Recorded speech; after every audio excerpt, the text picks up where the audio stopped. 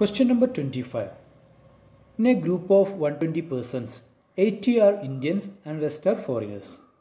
Further, 70 persons in the group can speak English. The number of Indians who can speak English is. There are 120 persons in a group. So we can solve this question by drawing Venn diagram. There are 120 persons in a group, out of which 80 are Indians. 80 are Indians. And rest are foreigners. That means 120 minus 80 equal to 40 are foreigners.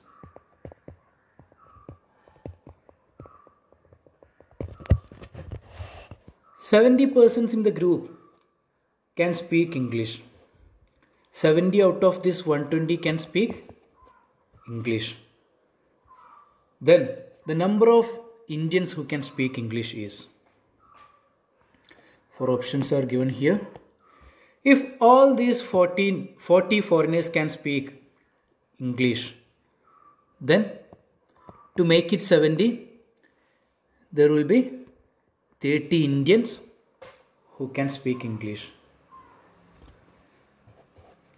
If this is foreigners, this is Indians. If there are 40 foreigners who can speak English, then there will be 30 Indians who can speak English. If number of foreigners who can speak English is less than 40,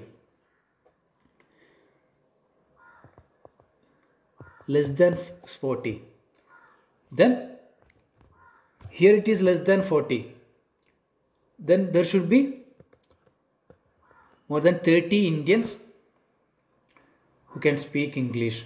Then only this becomes 70. The total becomes 70. Less than 40 means if there are 39 foreigners, there should be 31 Indians.